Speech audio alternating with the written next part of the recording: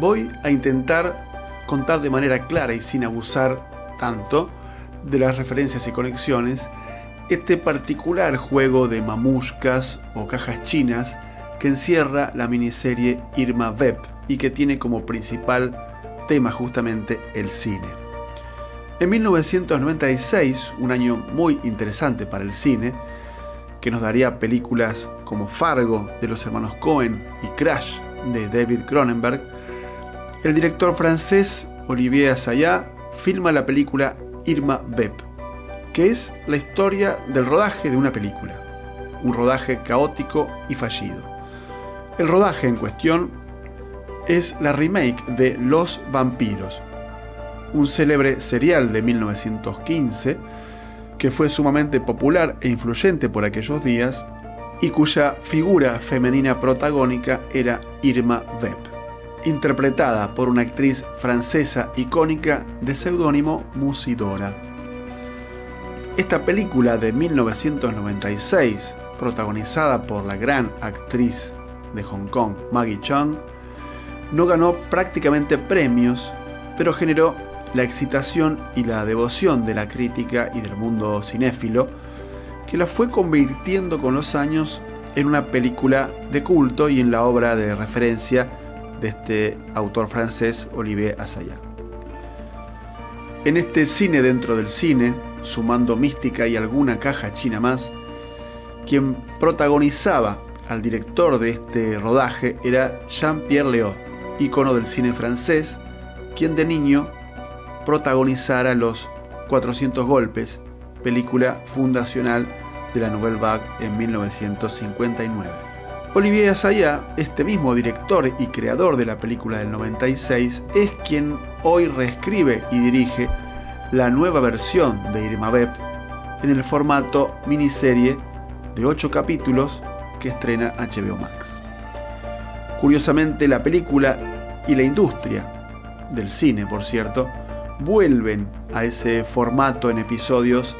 tan popular 100 años atrás que por aquel entonces se llamaba serial. En esta nueva versión en miniserie de Irma Beb,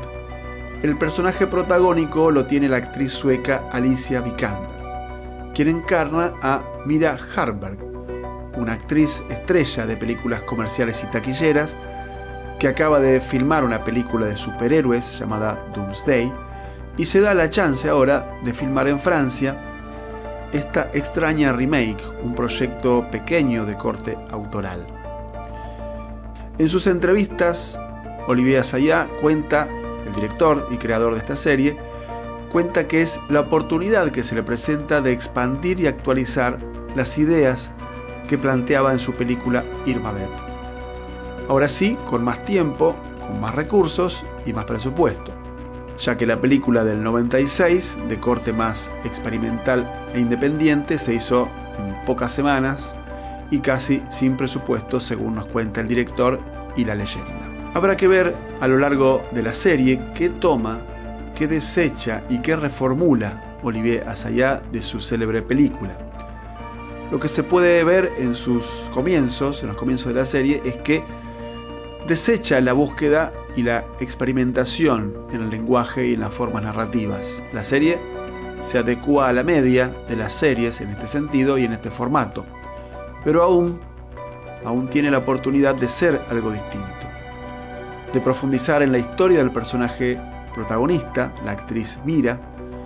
la oportunidad de explorar ese mito sensual y misterioso femenino que es el personaje Irma Beb, qué pasa entre la actriz y la persona, entre ficción y realidad cada vez que Mira se calza ese ajustado traje negro, y la oportunidad, si la quiere tomar y aprovechar, de actualizar la mirada sobre el cine, sobre su origen, sobre su presente y su futuro. Las tensiones entre el arte y el entretenimiento, entre la voraz industria y lo que queda del llamado cine de autor. Bueno, si te gustó esta reseña, podés darle me gusta, podés suscribirte al canal para estar al tanto de las próximas y podés hacerlo comentarios que quieras para debatir en este espacio. Nos estamos viendo.